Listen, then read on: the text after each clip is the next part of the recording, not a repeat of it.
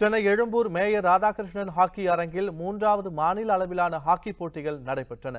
இப்போட்டிகளில் பன்னிரண்டு அணிகள் கலந்து கொண்டு விளையாடின நாக் அவுட் முறையில் போட்டிகள் நடத்தப்பட்டு வந்த நிலையில் நேற்று இறுதிப் போட்டி நடைபெற்றது. இதில் இந்தியன் ஓவர்சீஸ் வங்கி அணியும் இந்தியன் வங்கி அணியும் மோதின. இந்தியன் ஓவர்சீஸ் வங்கி அணி மூன்றுக்கு இரண்டு என்ற கோல் கணக்கில் வெற்றி பெற்று சாம்பியன் பட்டம் வென்றது. இந்தியன் வங்கி அணி இரண்டாவது இடத்தையும் ஐசிஎஃப் அணி மூன்றாவது இடத்தையும் பெற்றன. வெற்றி பெற்ற அணிகளுக்கு இந்தியன் வங்கியின் தலைமை செயல் அதிகாரி பரிசுகள் வழங்கி கௌரவித்தார். உண்மை செய்திகளை உங்கள் கண்முன் கொண்டு வரும் காவிரி நியூஸின் யூடியூப் சேனலை சப்ஸ்கிரைப் செய்யுங்கள். நொடிக்கு நொடி நாட்டு நடப்புகளை தெரிந்து கொள்ள Kaveri news dot TV Facebook Instagram Twitter போன்ற சமூக வலைதள பக்கங்களோடு எப்போதும் இணைந்திருங்கள்.